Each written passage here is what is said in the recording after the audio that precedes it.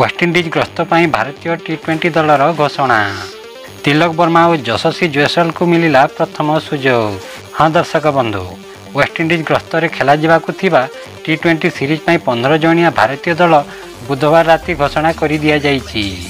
ଏହି ସିରିଜ୍ ପାଇଁ ହାର୍ଦ୍ଦିକ ପାଣ୍ଡ୍ୟାଙ୍କୁ ଅଧିନାୟକ ଦାୟିତ୍ୱ ଦିଆଯାଇଥିବା ବେଳେ ସୂର୍ଯ୍ୟକୁମାର ଯାଦବଙ୍କୁ ଉପ ଅଧିନାୟକ ପଦ ଦିଆଯାଇଛି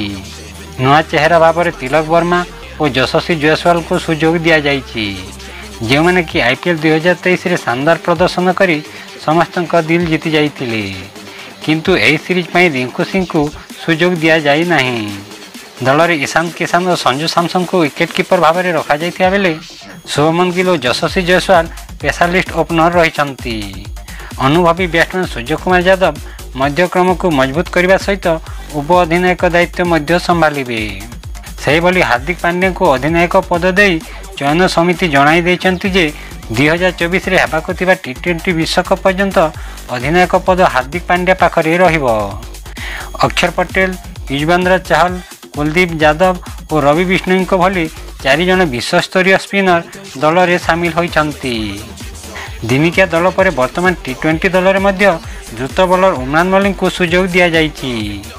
यही मोहम्मद सिराज को विश्राम दिइ अबिज खान्को उप भरोसा रखा रखाइछ टेस्ट र दुमिक दल पर पोइन्ट टी ट्वेन्टी दलले साम हुन्छ बिहार खेलाली मुकेश कुमार कुमारभलिरह भारत र नयाँ टि दल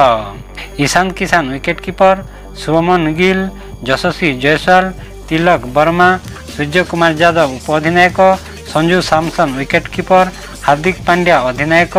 अक्षर पटेल युजवेन्द्र चहल कुलदीप यादव रवि विष्णुई अशदीप सिंह उमरान मल्लिक अवेश खान ओ मुकेश कुमार